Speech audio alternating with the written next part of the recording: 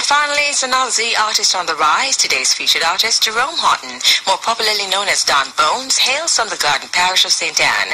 A past student of Marcus Garvey Technical High and a graduate of Moneague College, Don Bonez said he gathered most of his love for music there. It was not long after this, Bonez said, that he realized that his love for music could also be his full-time career. Today he tells us why he thinks he's on the rise. Basically, I've been doing music for a while and since lately I've been pushing out some work and in the street doing a lot of promo and I've been getting lots of good feedback from the populace. I would think I'm on the rise. Recently I, I went to the studio and I, I did a song at Dragon and it's been getting crazy rotation in the street.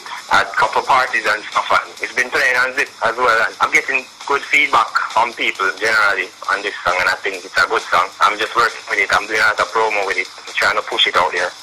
There was our Z artist on the rise this week, Jerome Horton, more popularly known as Don Bonez. For details on some of these stories, log on to zipfm.net.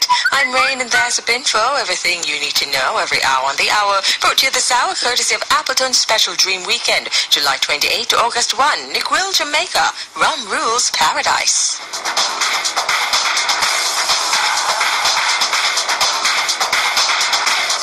We're fresh and we're hype. We're here for you 103 FM. Jamaica! You know it's Appleton Dream Weekend.